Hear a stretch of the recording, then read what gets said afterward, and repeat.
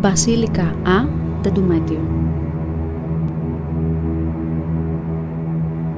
Dentro de los muros paleocristianos de Nicópolis se han localizado y excavado en parte una totalidad de cuatro basílicas.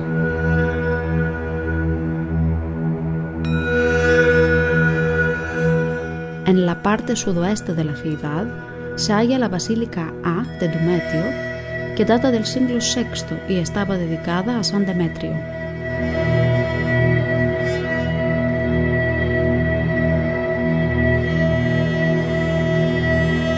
Su edificación y decoración corrieron al cuidado de los arzobispos Dumetio I y II, de acuerdo con las inscripciones encontradas en los mosaicos. Es de tres naves, con crucero proyectado tripartito y nártex asimismo tripartito, que conduce hacia el norte al llamado baptisterio y hacia el sur al diaconal con su ábside.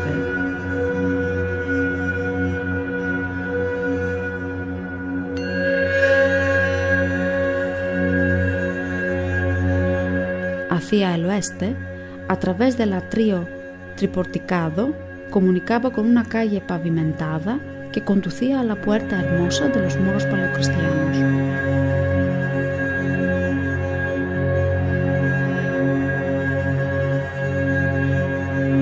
El pavimento de la basílica está decorado con mármoles y mosaicos de gran capacidad técnica y variada temática, especialmente de carácter simbólico.